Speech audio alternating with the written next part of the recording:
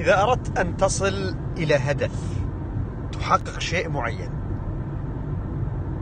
تتخذ قرار محدد. لابد أن يكون عندك معيار ومؤشر حتى تعرف أنك حققت هذا الشيء ولا لا. العديد من الناس يخافون على أرزاقهم على إيراداتهم أطمئنك. وفي السماء رزقكم وما توعدون. وأيضا إن الله هو الرزاق ذو القوة المتين. لا تنساها. إذا نسيتها جاك القلق. لا يكفي أن تحقق نجاحا. لابد أن تعرف كيف تحافظ على هذا النجاح.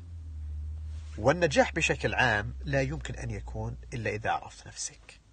فهناك ثلاث أسئلة مهمة. من أنا؟ وماذا أريد؟ وكيف أصل إلى ما أريد؟ إن الطيور على أشكالها تقع. أهل الصلاح يتعاملون مع أهل الصلاح وأهل الفساد يتعاملون مع أهل الفساد.